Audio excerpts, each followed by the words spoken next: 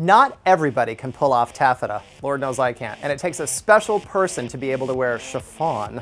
But there is one thing everybody can agree on, and that is that the skinny jean is back in a variety of looks for both men and women.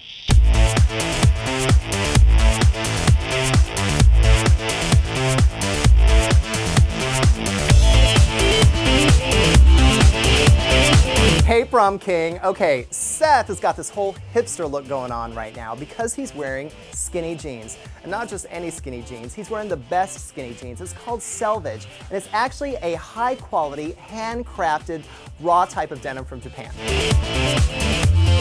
Seth has rolled up the cuffs on his jeans. Not only is it a cool look, but that red and white seam is a unique feature that's found only on selvage grade denim.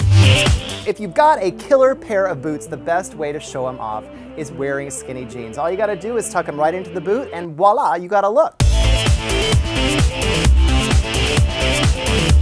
One more thing, Seth is wearing his skinny jeans with loafers, which is a great look.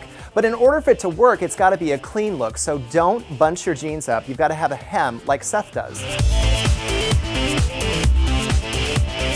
What have we learned on this very special episode of What the Chic? That even Michael Mackie can pull off a pair of skinny jeans, okay? For more crash courses in style, visit the store or go online at halls.com.